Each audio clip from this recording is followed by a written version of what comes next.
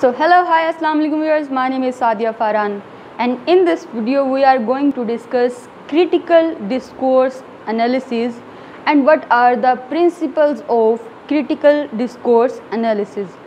I know this concept is hard to digest but together we can do it. So let's figure it out. Critical discourse analysis consists of three words critical discourse analysis Let's have a look on them. Discourse. Discourse means written or spoken communication. Speech or writing that has a coherent meaning and a clear purpose is referred to as discourse. Critical. Critical involves an analysis. It is evaluative Analysis Analysis means detailed investigation of anything complex in order to understand its special features.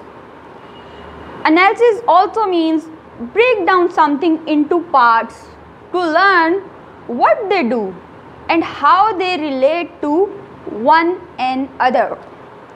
Now, what is critical discourse analysis? Critical discourse analysis is interdisciplinary method in the study of discourse. Critical discourse analysis is interdisciplinary method in the study of discourse, in the study of written and spoken communication.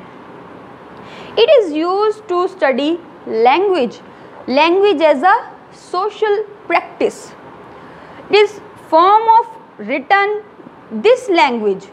What it studies? Form of written and spoken words their structure content and reception. These all are examined in critical discourse analysis.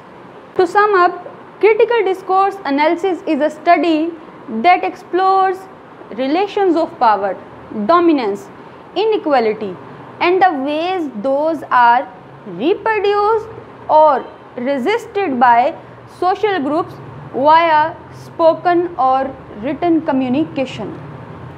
Now, what are the principles of critical discourse analysis or they are called as aims of critical discourse analysis as well. Principles of critical discourse analysis are Social and political issues are constructed and reflected in discourse. Social and political issues are constructed and reflected in discourse. Power relations are negotiated and performed through discourse. Power relations. Discourse reflects and reproduces social relations. Discourse here the importance is on discourse that how discourse reflects and reproduces social relations. Ideologies Ideologies are produced and reflected in the use of discourse.